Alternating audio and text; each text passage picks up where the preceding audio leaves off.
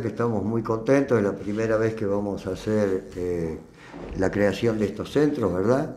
Que es Centro Buena Cosecha, que es del Ministerio de Trabajo, y nosotros el Centro Crecer, que a su vez también participa Desarrollo Social de la provincia, la intendenta de Valle Viejo, Susana Centeno, y en este caso también eh, el intendente de Huillapima, Omar Soria.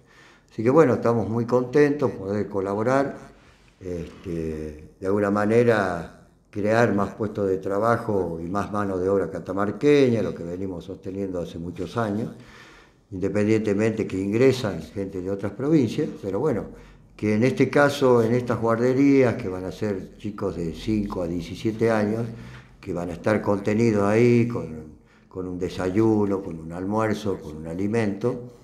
Eh, lo importante es erradicar el trabajo infantil de alguna manera y ayudar a los productores también eh, y, que la mujer rural, que hace rato ya dejó de ir a los campos, pueda nuevamente ir a los campos y, acrecentar en el hogar este, un dinero más grande, ¿no es cierto? trabajar a la par del hombre y poder eh, tener mayores ingresos. La cosecha comenzó ya, eh, de febrero a junio tenemos cosecha en, lo que es el olivo, eh, luego sigue la papa allá en Singil y, y Aconquija y a su vez también ya tenemos nuez, que este año hubo heladas tardías y hay departamentos que está bastante complicado con el tema de la nuez. La importancia de la visita, por ejemplo, de José Bointenco, que es el referente a nivel nacional también para el día lunes, ¿no? Sí, sí, viene el presidente de Renatre, José Boitenco, que a su vez es el secretario general de Huatre y presidente de Osprera, ¿verdad?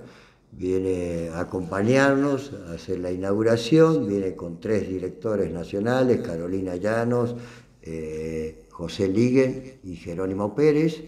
Y también viene el equipo de prensa, porque bueno, se quiere llevar la experiencia de Catamarca. Ya, si bien es cierto, ya tenemos Centro Crecer, que hacemos en Tucumán, por ejemplo, con el Ministerio de Trabajo de la Nación, en lo que es el arándano. En Jujuy eh, también tenemos Centro Crecer, eh, que hacemos con el tabaco. Así que bueno, todo está orientado a erradicar definitivamente el trabajo infantil y por el otro lado ayudar a nuestros catamarqueños a que puedan tener más trabajo, ¿verdad? ¿A dónde se van a encontrar estos centros, Enrique? Bueno, el de las esquinas es justo enfrente de la escuela, que hay una plazoleta, ahí está. Los que eh, quieran ir a trabajar al campo y tengan que dejar los chicos, eh, tienen que ir a la oficina de empleo, en este caso de la Municipalidad de Valle Viejo, o si no, si viven para el lado de Capayán, eh, en la oficina de empleo de Huillapín. Para finalizar, bueno, eh, se vienen haciendo los controles eh, que, lleva adelante el Renatre para, eh, por supuesto, cuidar a los trabajadores que están en las diferentes cosechas. Sí, sí, siempre estamos todo el año. Sabemos que Catamarca tiene mucha actividad. el año pasado hicimos mucho hincapié en la ganadería, en el Departamento de La Paz. Estuvimos trabajando fuerte ahí, hemos encontrado un alto grado de trabajo en negro, ¿verdad? De trabajo no registrado, un 52% nos dio, de 30 empresas que, hay ganaderas, que generalmente los dueños son de Jesús María.